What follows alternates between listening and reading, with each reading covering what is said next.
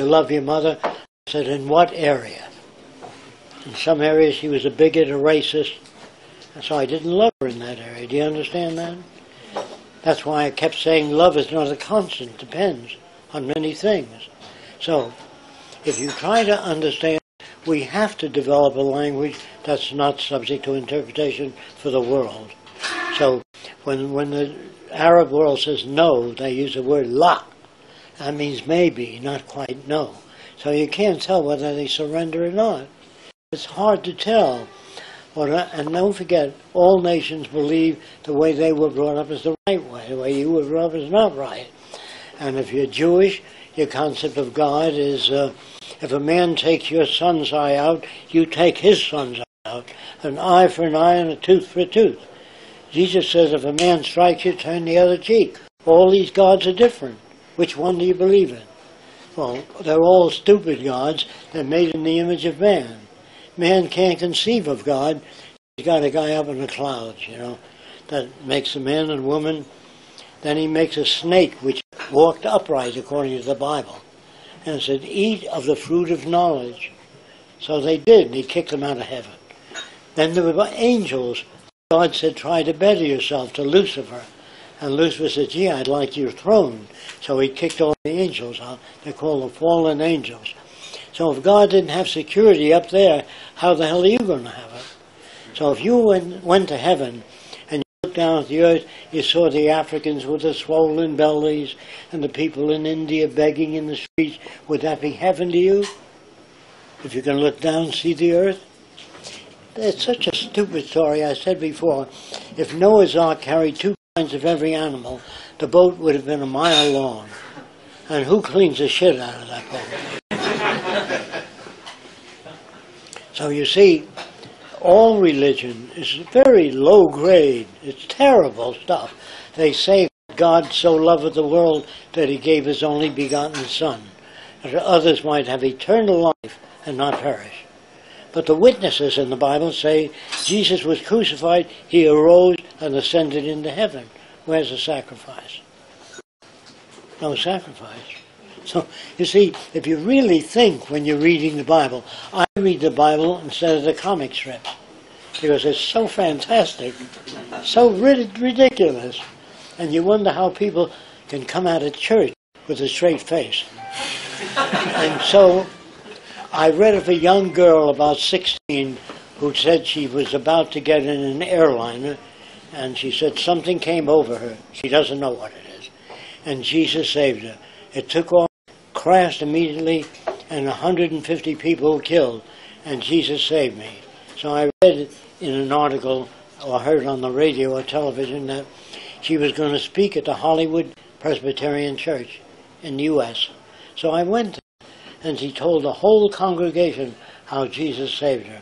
They all stood up and says, Amen, God bless you.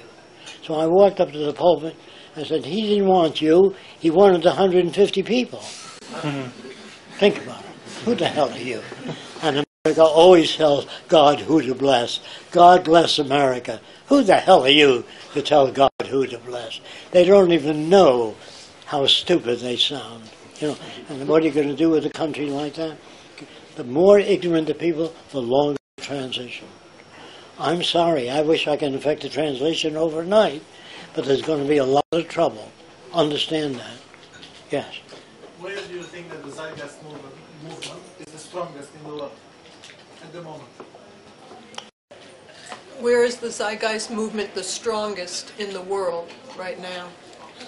I imagine it's in America and it's growing all over the I world. don't, I don't think so. We can let you know better after this trip. Would, would you would you like to appear on a national TV? And then, like, Uh, They won't let me on. Yes, yes, we would. because I, first, first time I watched this Zeitgeist Addendum, I actually watched it on the on the TV in Romania. On the, like the whole country could see it. Good, fabulous. Yeah.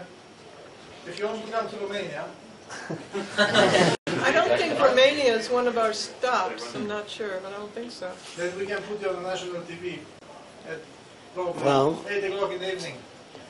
You Even- arrange that? Even in this Try and country, make it. Yeah. I don't think we've been invited to any TV station It's so very far. popular in Romania. That's why I'm asking you. I don't know where's the strongest right now. I, I, it's not in the States. Yeah, I mean, there are a You lot of know- people that signed up, but we're totally banned in the news on the States or anything. We had one little few-minute place on Fox News, which is the most conservative news station. It was very strange. And They they did a were good job. positive, Fox News. And I think that any station, if they understood what I was talking about, they're afraid they think I'm a communist. Communism uses money. It has armies and navies. It has social stratification. It has banks, prisons, police. We don't have any of that stuff. We have nothing in common with any existing system. Uh, What, No. what, what about the volcanoes? what I saw, about it? I saw an interview with you in 1974 when, when you said that uh, catching the power of a volcano could actually power the entire world. Did anybody did any calculation about such things? Geothermal. He's, can you hear that? No, I couldn't He's hear. asking about when, when you were on Larry King in 74, you Yes. talked about catching the power of a volcano. Has Yeah. anybody done that? Anybody, In, in calculated- California, Italy, Well, uh, geothermal power he's talking geothermal about. power. Okay. That's- Iceland is completely built. geothermal, pretty much. Iceland grows bananas and oranges all year round. They give them to kids in Iceland. They have a glass building and they have steam coming up and they use that. So imagine if you had geothermal energy, the geologists tell me there's enough energy in the earth itself, just the heat, for thousands and thousands of years. You don't. Then there's the waves of the ocean. They move up and down. They can generate electricity. Then there's a temperature difference between the upper region the ocean and the depth. The temperature difference can generate electricity. Then there's taking wire like antimony and bismuth and twisting them together, put a match on one end the other and becomes ice cold. So if you made your rooftop of the dissimilar metals, the sun shining on it hot makes the inside of the metal cold, so you need no air conditioning. People don't understand what technology can do. They say, sometimes a woman comes over and says, there's too much technology in the world today. So I say, I'm coming to your house tomorrow, take your refrigerator, washing machine. They don't know that, that, and they also ask another question, can a machine be better than the designer? And I know a little guy that designed a machine to pick up a freight train and empty it. He can't do that. you go to any modern factories today where they produce Coca-Cola or anything, the machine injects all these bottles in instant with that, with the with the juice right away. No man can do that. He can't move the bottles along the production line like machines do. So machines will not take over; they will dominate. Now I want to try to make sure you understand. They tell you that the machines are going to take over, and everybody will be ruled by machines. I'm sure you heard that crap. That comes from Hollywood. Here's why they won't take over. First of all, they have no feelings. If you had a laptop and I smashed it in front of 20 laptops, we'll get you. If it isn't this week or next week, we'll get you. Machines don't care. If you ran your laptop Saturday, Sunday, Monday, give me a day off, will you? they don't care. Machines have no ambition. They don't want to rule people. That's a human attribute. So the message is this that when I was a kid, a man would look out of an airplane and he'd say, I'm about a mile and a half high. With Doppler radar, goes down his ear, come back and says, You're 5,330 inches off the ground. No human can do that. Nine months ago, computers can handle 1,000 trillion bits of information per second. No group of humans can do that. So, is it a machine takeover? No. They'll be assigned these tasks. In airplanes today, you're safer when the machine tells the pilot exactly how high he is. Do you understand? Otherwise, he just guesses. So, when you have machines that are really intelligent, say an airplane's coming in for landing on six separate circuits, not one computer, six separate circuits, and there's a crack in the runway due to an earthquake, machine will fly around it. It depends on how smart the designer is. most machines are dumb. I mean, they, they reflect the designer. But you can design hmm. automobiles with sensors on it. So if you got mad at me and you tried to drive your car into my car, it would stop. Do you understand what I'm saying? And when I was a kid, if you worked in an automobile factory, they shaped fenders and parts of the car by machine. If a guy put his hand in there, when the machine came down, he lost his hand.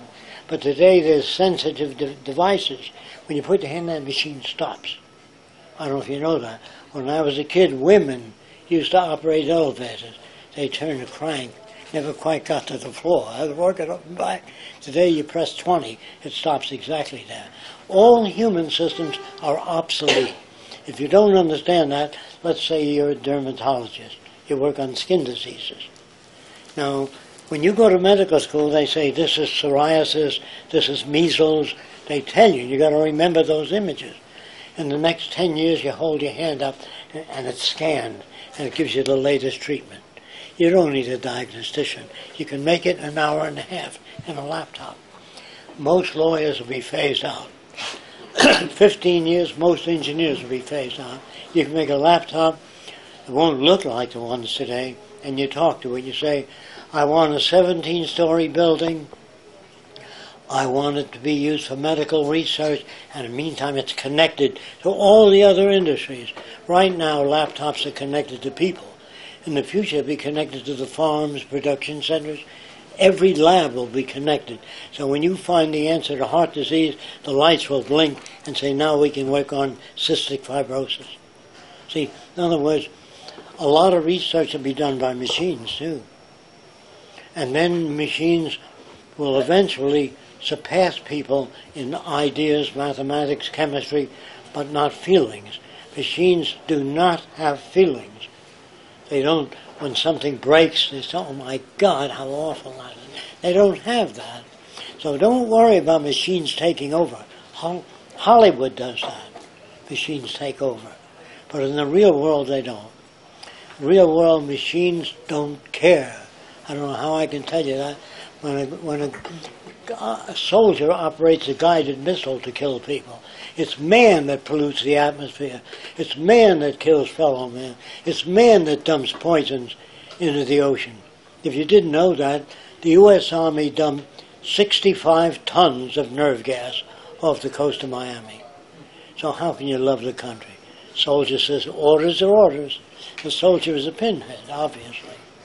So we have no soldiers in the future, and nobody obeys me. There's nobody that tells you what to do. All man-made laws are full of shit. Only laws that count is natural law. If you don't get nutritious food or enough sleep, you get sick. Those are the real laws. We have to find out how we relate to nature, but not man-made laws. Man signs treaties with other nations. If that treaty doesn't serve their interest, they violate it. U.S. violates many treaties, so does Japan. It Doesn't mean a thing. A marriage certificate doesn't mean that the guy is going to be loyal to you. That depends on his sex drive. You understand what I mean?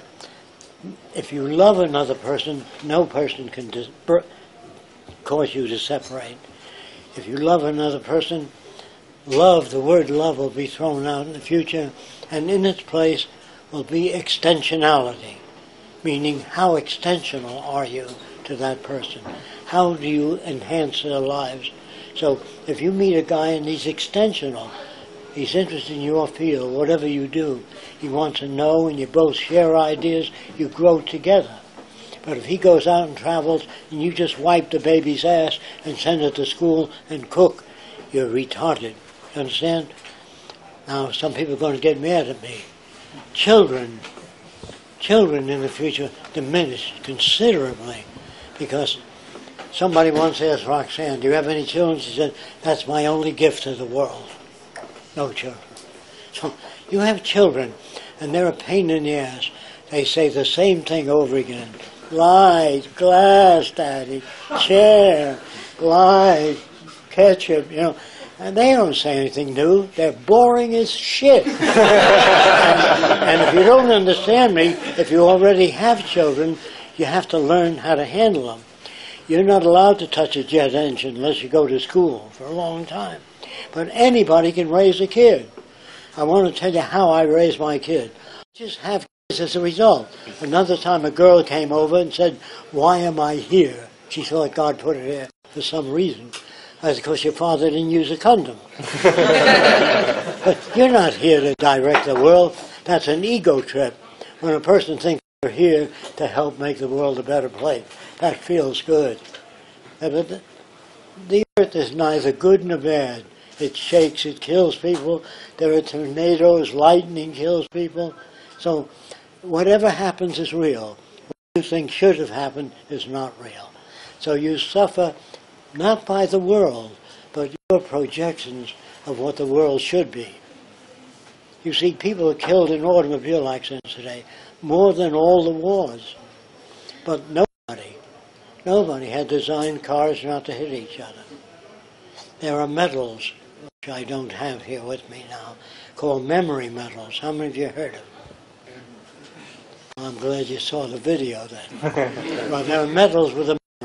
They now make a fabric with a memory, and the doctor ties a surgical knot, and then he straightens out the fabric and he sticks it to the skin, and the heat of the body causes it to tie a surgical knot. Interesting. Yes. Hi. Um, I'm sorry to be so persistent with a, a really That's all right. sensitive question, but um, you know, as you remember, my last question I was talking about you know, fascism and the feeling that Yes. we're all living in an increasingly uh, oppressive um, circumstances. Um, earlier you mentioned Noah's Ark. Do you think we need to be making some kind of Noah's Ark to ensure the uh, continued survival of the movement? Do you think we need to be making some Noah's Ark to continue the survival of the Zeitgeist movement and the Venus Project? Well, I can answer that question indirectly. A very wealthy group came over to my lab one day and said, Can you design a city for us that would be sustainable? With a high wall around with photoelectric cells, heat concentrators. About a prototype of the Project.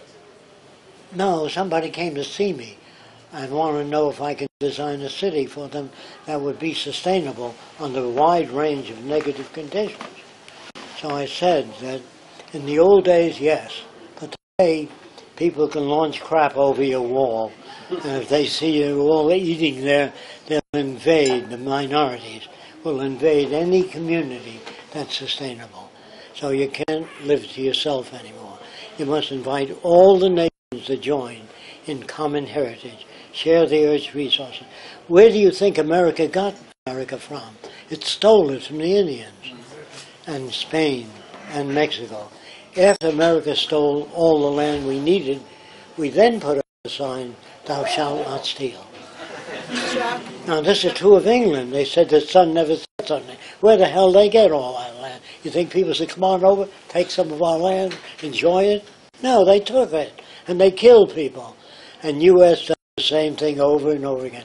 All the established countries kill to, to get land, then they tell you not to steal. When we won the war with Germany, we stole their rockets and brought them Wright Field. Then we kidnapped their engineers and brought them over to America. Government does whatever the hell it wants to do. If you kill somebody, watch out. Because you don't live in a sane world. There's no such thing as civilization yet. You all believe that, well, nowadays we're civilized. In the old days they weren't. No, we're not yet. As long as there's war, poverty, hunger, deprivation, we're not civilized. Now, if communism wins, they have an ideal, but they don't know what to do once they get in. They don't know how mass housing or grow food or transportation. They don't know how to do prefabricated houses. So your problems are not political, they're technical. Everything that you have, your electric lights, your eyeglasses, your automobiles, your airplanes, are all technical. No congressman or senator ever, ever increased the food supply for the nation. They never devised any safety devices, traffic lights or anything. What the hell do they do? They don't know anything. They can't do anything. Politicians have never been able. There's not one politician that made safer houses that don't burn, or new fire engines or something. Make nothing. Kennedy, everybody loved Kennedy. He was a nothing guy. Jacque, By nothing, I mean doesn't do anything. question yes. over here. Yes, Um, I've heard that you want to join the Ku Klux Klan, one yes. group of the Ku Klux Klan, in order to Yes. change their opinions. Yes. Uh, how did you do that? Well, how many of you want to hear that? How I changed the Ku Klux Klan? Well, there was a guy that had a war surplus store. His name was Lou Merlin. He's dead now. He he was a member of the Klan because he always talked to me a little bit about it. Then one day he said to me, "You're a smart guy. What do you think of the Klan, the Ku Klux Klan?" I said it was a great organization, but it didn't go far enough. That'll what do you mean? If you attack, it doesn't work.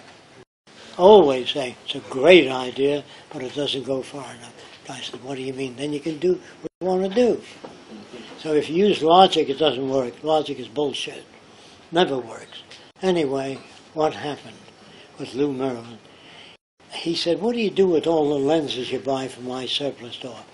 I said, I have a lab and I experiment with him. He says, I'd like to see it.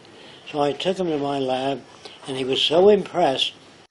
He said, Jacque, will you come on down to the Klan, that's what spoke, and tell them about what you're doing? I think you're a smart guy. So I said to Lou Merlin, they won't listen to me. He says, I'll get them to listen to you. I'm in charge of that group. So he said, I want you guys to listen to Jacque. And then when he gets through, if you have any questions, you can ask him. And he forced them to listen. So I said to Lou, how is it that you can look at a person, that's what he did, and tell us all about him, and he never knew the guy? He could look at a person, that guy doesn't think, this guy's lazy, just by looking at him.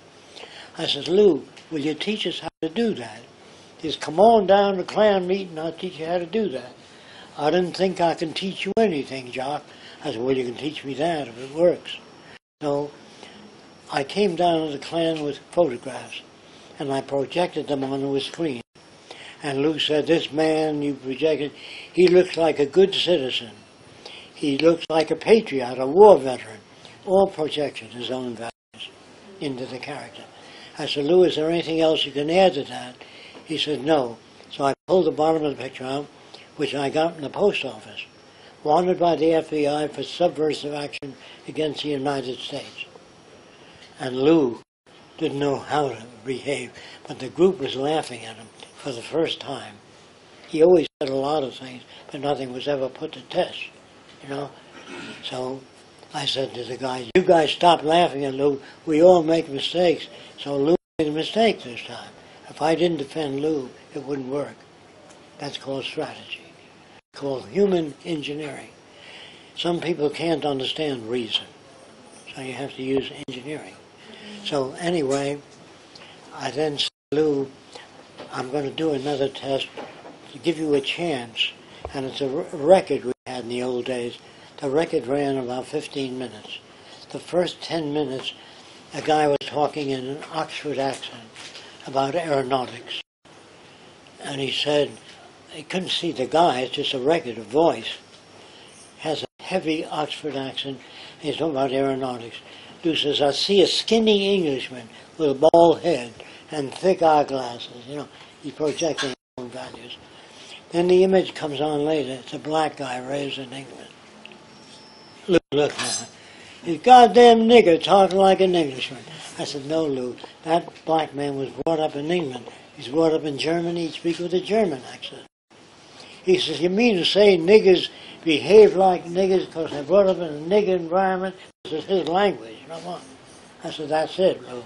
If I took your kids and brought it up in that neighborhood, they talk just like niggers. That's right. You're right. hmm If black people talk that way, your kid would talk that way if you were white, if I raised him with a black family. Do you understand that? So Lou said, I can't believe that.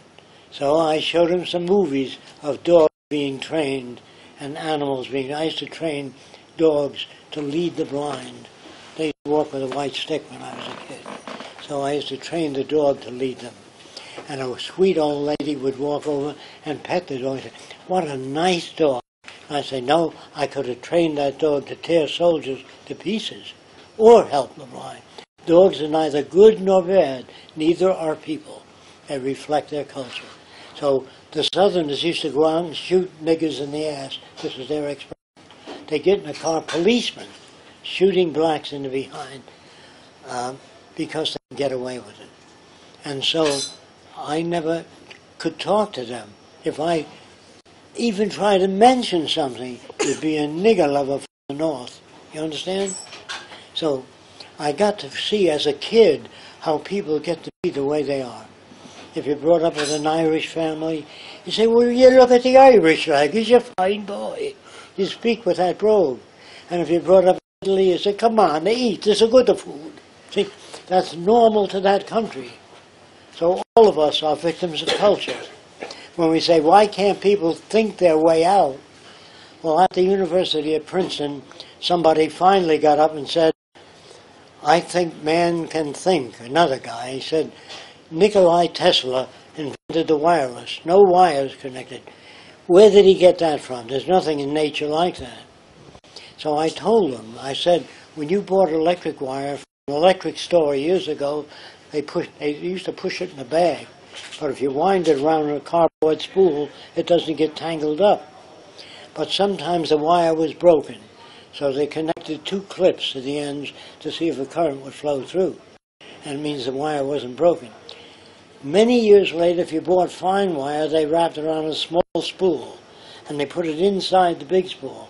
So when you tested the big spool, see if the wire was broken, it induced the current in, in the spool not connected. That's where Tesla got it from.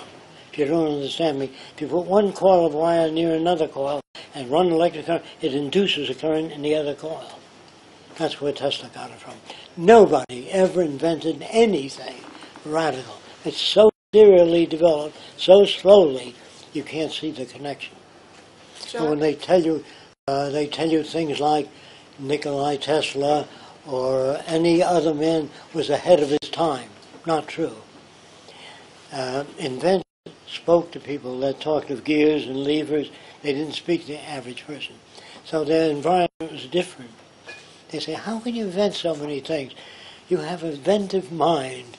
Or they say, you are gifted. If you're gifted, why the hell give them any credit for it? You know, it's like a beauty contest. If a girl wins a beauty contest, I'm against that because she didn't make her face. She had her face made of mud, and she shapes it and straightens it out. Worked five years on it, you can give her a medal. Why the hell give a person a prize? Because they inherit ability. Nobody inherits anything. That's bullshit too. All that you inherit from your parents is the shape of the nose, the color of the eyes, or genetic characteristics. But you don't inherit values. Those are learned. Stay away from the Swedes. They're dumb. Get a dumb Polak to clean out your cellar. That's, that's where you get it from. You get it from your environment. No kid was ever born speaking Chinese, even though that civilization had been speaking Chinese for centuries. No Chinese baby ever came out and, and spoke Chinese. They had to go to school. No American baby or English baby or German baby ever spoke German without training. So they assumed that if you took a Chinese baby and a Greek baby, the Chinese baby would learn Chinese faster. They tried it. They both learned at the same rate. So you don't inherit characteristics that your parents learned. You can inherit the color of the eyes, the shape of the lips, the ears, physical diseases. You can inherit propensity toward heart disease, but you can't inherit learned information. Okay. Another question. Yes. Um, I would like to ask you a question. Uh, I think all of us uh, knows about the natural tragedy was happening in the Gulf of Mexico. And I would like to ask your. Do you think that this, this event can ignite uh, humanity finally to start changing from the fossil resources to one of those resources what you mentioned in the movie? Because now everyone can see what war can cause in the world. Well, if you know what shapes human behavior, you can design a society. For example, Jacque, the- the question, question is, uh, the tragedy in the of Mexico with the oil, do you think that that will generate people to stop using fossil fuels and go to a different source No, of, it clean just source of helps energy? a little, but it doesn't put an end to it. The oil companies, Or, or, I'm sorry, or mainly put pressure on government from people who see. yes, the oil companies control the media, and to a large extent, they can countermeasure that. You know, uh, I don't say it doesn't help, it helps, but really the problem is, what do you do with oil spills? That's really a problem, not is it the oil company. The oil companies are in business to make money, and they want oil used. If you have solar energy, it's a threat to the oil companies. So they say it's not that efficient. Whatever they say, they could be lies, rumors. As long as you get them out there, you can delay it. Do you understand? The electric companies out here, they're trying to harness the Thames River, put turbines under the water. So as the tide flows in, they generate electricity. As it flows out, generates electricity. But the electric companies don't like that. You understand that? Any company doesn't like anything new because it's a threat. If you have a plastic company and it, it took you three million dollars to outfit the plant, you want to wait till you can amortize your cost back before you change your machinery to something else. You got to get what you put in back. So the whole world is delayed, and we live in a very primitive culture because we still kill people. The electric chair, or we give them lethal injections. As George Carlin once said, we use cotton sanitized with alcohol before we give them a lethal injection. so I'm trying to tell you how stupid our society is. So when a person said to me, Will there be horror movies in the future? It'd be movie, any movie about any society would be a horror movie. If, if to the future, you understand? Yes. Yeah, the Venus project, for example, say it gets to go ahead tomorrow. What are there in the way of plans, um, technical schematics and stuff like that to, to put it to practice straight away? Are there any blueprints to put the Venus Project into practice if we could do it tomorrow? We could have done it in 1927. What kind of blueprints? He's asking if there are blueprints to, to put it in. Well, we have uh, drawings and, and we burned a lot of blueprints about a year ago because we were going to move to another country. So uh, we, I had blueprints on skyscrapers, machines to do the work of people, many blueprints. But we, I can do them over again. So we make movies now showing people what life could be like, because they want to know what will life be like in Venus. If machines do everything, what will people do? Well, people go, I don't know know this, we have shopping centers in the States, and kids hang out there. From high school and college, they hang out in the shopping malls. There should be art centers, music centers, places for kids to go. They have no place to go. The Also, system is very did you ask that, Ben, about the blueprints?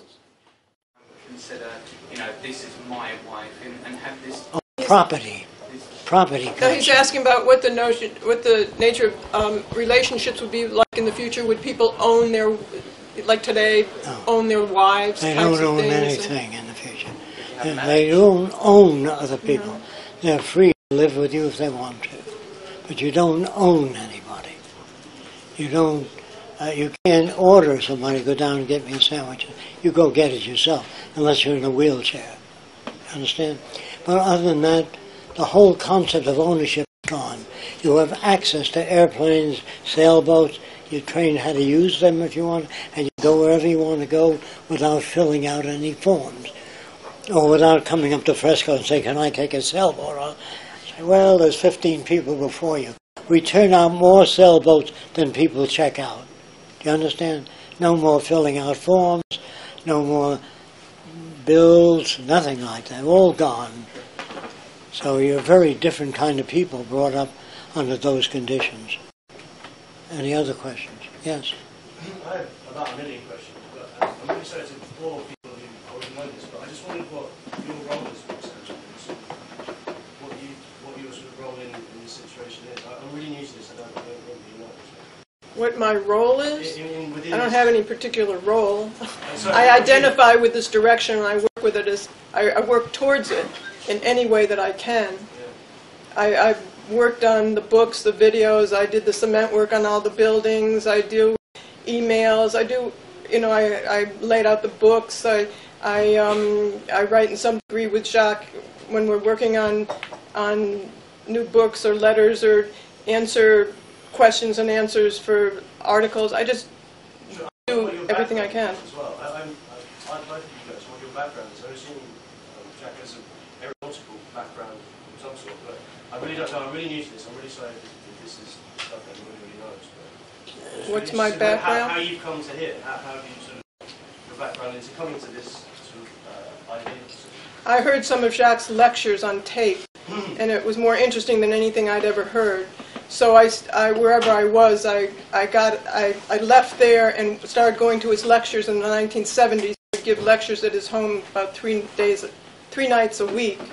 And we have some of those lectures on our website now. They're really interesting. In his actual home, in his house. in his, he held them in his house, yeah. And he charged at that time three, two dollars for members. We had a, we had an organization called Socio Cyberneering. Um, and, uh, and engineering and, uh, applied to the social system. Um, socio cybers, and engineering and technology applied to the social system. But we changed that name when we moved to Venus because people, it was before they even used the word cyber, It became fashionable, and people couldn't pronounce socio cyberneering, let alone spell it. So we changed it to the Venus Project. It's nothing to do with metaphysics or the planet Venus or the one world government or anything that they say out there. So um, it's just because we lived in Venus. So um, I don't, I don't know. I went to the lectures and I ended up taking his drafting courses and um, and he taught me how to do architectural models. So then I started a business doing architectural models and renderings, and that helped support the project.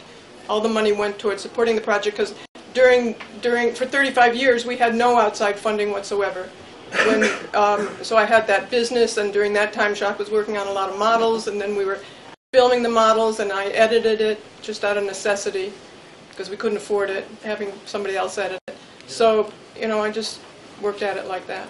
Um, I, the final question really, uh, is just, like I said, I'm new to this, but the tag Zeitgeist, the tag Venus project, uh, when I heard uh, that my friend was involved, uh, seen as Zeitgeist, there was this enormous uh, barrier and wall up in my head that what is that? Is some sort of cliquey group or religious sort of thing? And I wondered, is it is it dangerous to label, or is it positive? That actual fact to give it an identity and a label is actually a really good idea because it gives people an Sure. understanding of where it is and what it is. Sure, we wouldn't be, people wouldn't be able to talk about it, they wouldn't be able to associate anything with it.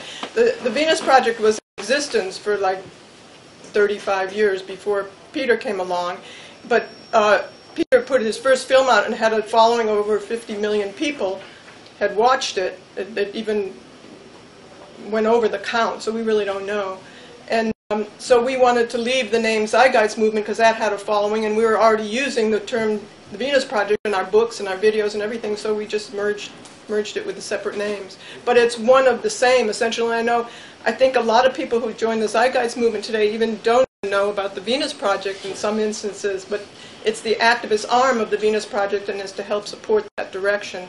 Because a lot of people came to Peter in, for, during the first film and said, well, what do we do, where do we go? He said, I don't know.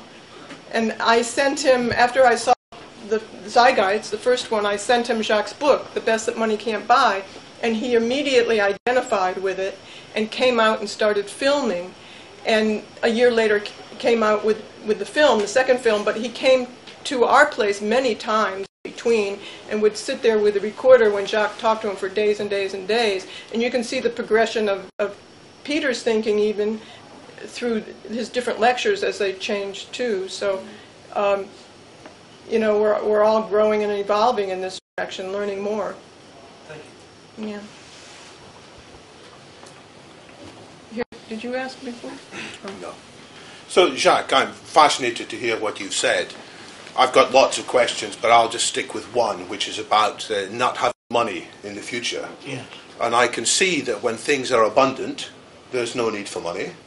But won't there always be some things that are scarce? Even though there are, even though technology makes more and more things available, there will be cutting edge medical treatments or new iPads or whatever when there isn't enough for everybody who wants them. So how will they be allocated? Okay, that's a very good question too. First of all, I said uh, you can today you can stick your arms into two units and move them, and you can do surgery from New York to Iceland. If a person needs an operation in Iceland, you're a doctor. You can manipulate the stuff in Iceland. You understand what I mean? By sticking your fingers in. Now, nurses, when you say hemostat, they give the doctor a surgical instrument. Uh, when you say uh, clamps, then they give you clamps. But there's a thing called a turret head lathe, which has all the drilling bits and everything on one unit turns.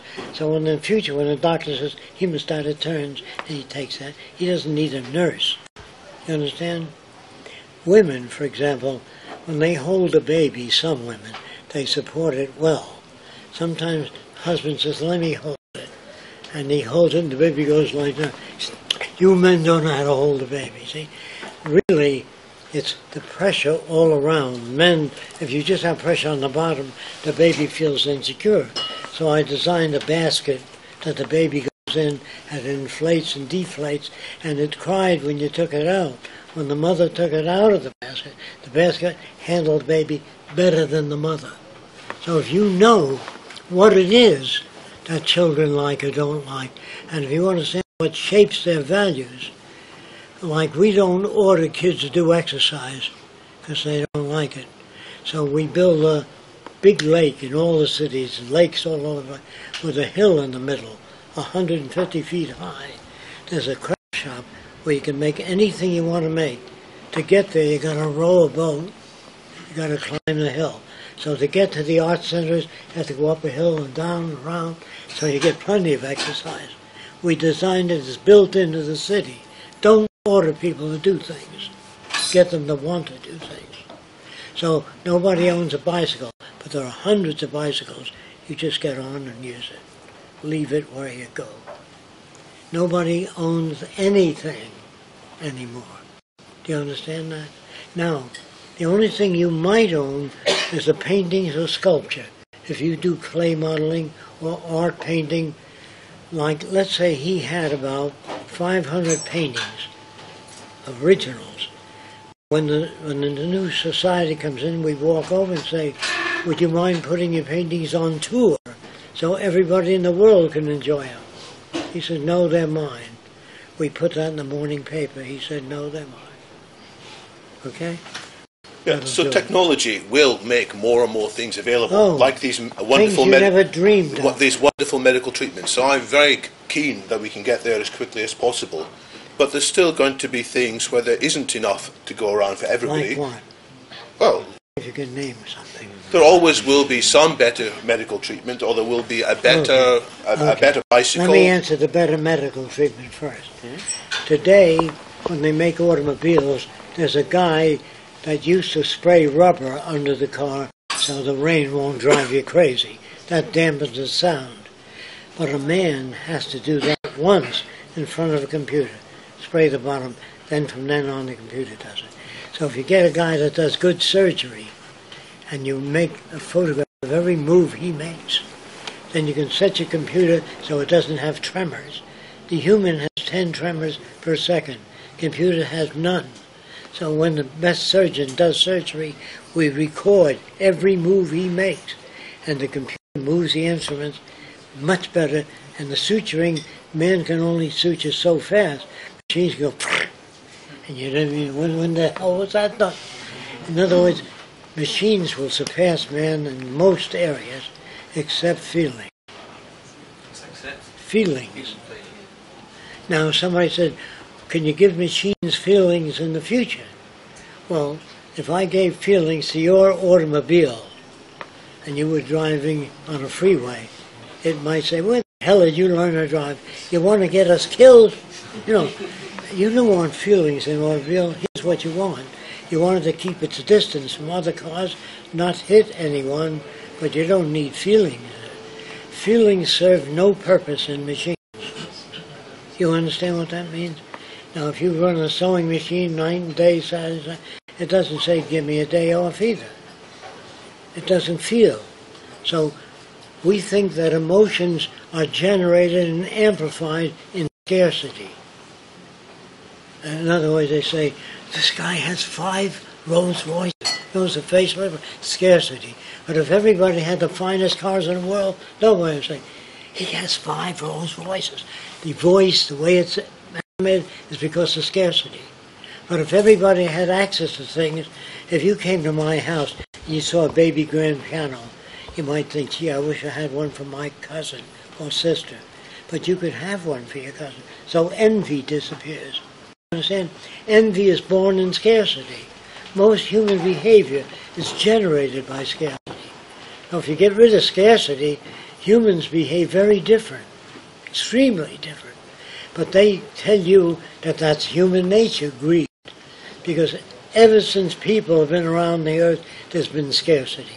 So they hoard, grab all they can grab, because they live in scarcity. But you people that are upper middle class, your kid will leave food in the plate. You say you eat everything in the plate because there are starving people out there. That comes from scarcity. But if all the food of the future restaurants were hermetically sealed and fed or used in fertilizer, uh, we would have no waste. We recycle everything. Even the package that you wrap the food in, when you put it in the ground, it may take three weeks, but it contains nutrients for the soil. So everything in the future will be of service to man, humankind. Just one and last women, question. Women will use the same washrooms, same swimming pool. They'll swim nude when they're very young to do away with peeping toms and fetishes. And you can't sell magazines with nude girls in it because no one would buy it. Do you understand what I'm saying? In other words, people think I'm depriving people. I know what makes peeping toms, and that's scarcity.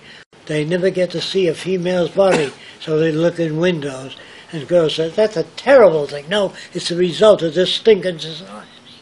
If you boys and girls use the same washroom when they're very young, they will look at each other and that'll be over in three or four days, and they'll go on, you couldn't sell pictures of nude people.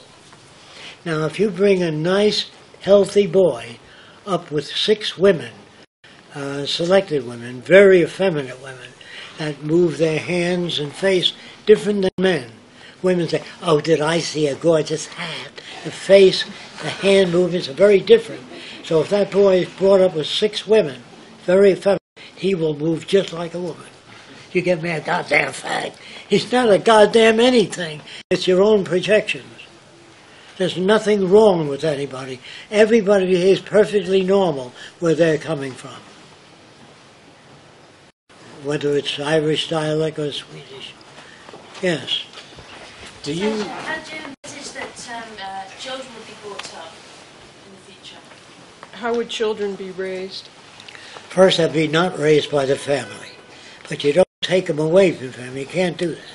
You have summer camp, and you show television, kids swimming, learning in a learning environment. And normal people will tend to send their kids to summer camp. At summer camp, we say, your father was raised in the Philippines, and this is a custom that he grew up with. So be nice to your father, even though he says you can't change human nature. Whatever he says, it's normal to where he's coming from. We teach kids anthropology, sociology, social change. We teach them as much as we can so they understand, not tolerate. I don't like the word tolerate because it means to put up with. You know, I want kids to understand the world they live in. Uh, what about breastfeeding? Okay, How about from when the Uh, child is very young, from an infant? and breastfeeding. How would they be raised from that Well, early stage? During the transition, all that will be in. After transition, children suck on anything, your ear or anything.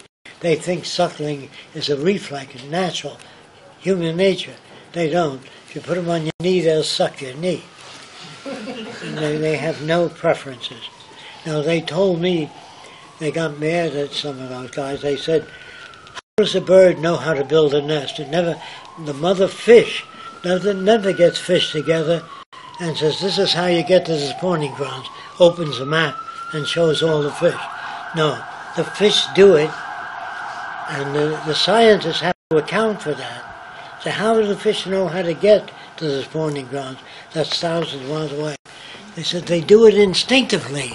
They might as well say they do it by bula bula. Instinct doesn't tell you a damn thing. She's naturally gifted. But that doesn't tell you anything. It doesn't tell you how she draws or creates music. What the Venus Project does, it shows kids how we get to be the way we are.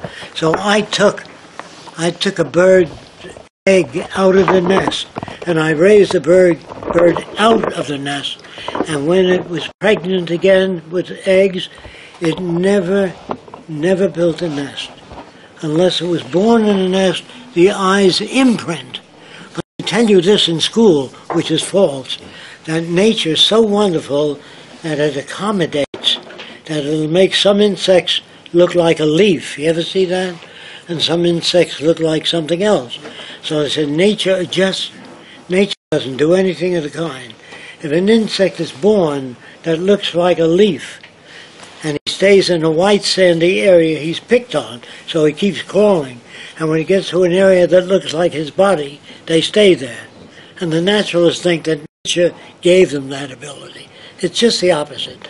They think that camels have wide hoofs so they won't sink in the sand.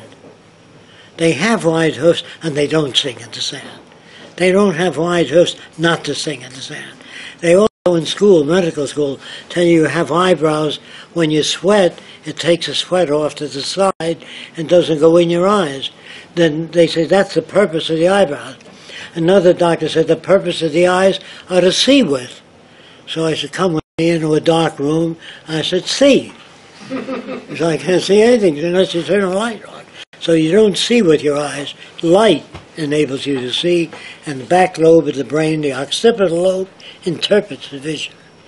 So people think they have fingernails to scratch insects off their skin.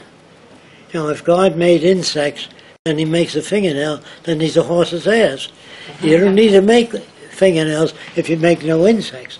But anyway, people are born many different ways. If you were born with a big bony growth and somebody came at you, when you put that there, you'd be protected. Animals do not have horns to protect themselves, as it says in your school books. They have horns. If animals had horns to protect themselves, where's the horns on a rabbit? And when you cough and sneeze, what's the purpose of that? To infect other people? Why don't you put everything in the book? The reason the guy sneezes is to launch the germs at you, so you get a cold. You understand? Man projects his own values into everything. This includes scientists. They talk of the Big Bang was the beginning of everything. What was the day before the Big Bang? Nothing. There were a lot of stupid stuff in science and technology. If a man were a scientist, he'd say, what makes wars? Why do people kill each other? He'd get step out of his field and ask questions in all areas. But when you train a guy in chemistry, he thinks as a chemist. You train a guy in structural engineers, he's always looking at structures and engineering. See, but people in the future will be trained in the history of civilization, how they used to feed Christians lions and torture people and stretch them apart. All the stupid things that man did to will be in your school books. Now, you know the witch hunts in Salem? In, Ma- in Ma- Salem, Massachusetts, we used to burn women, mostly set them ablaze, if they thought differently. Now, did you know this? That if you found a witch, you got her bank account and land? So you look for as many witches as you can. They, they don't put that in your school books. Did Yes. you have a follow-up with that? Yeah, I just wanted to, to ask.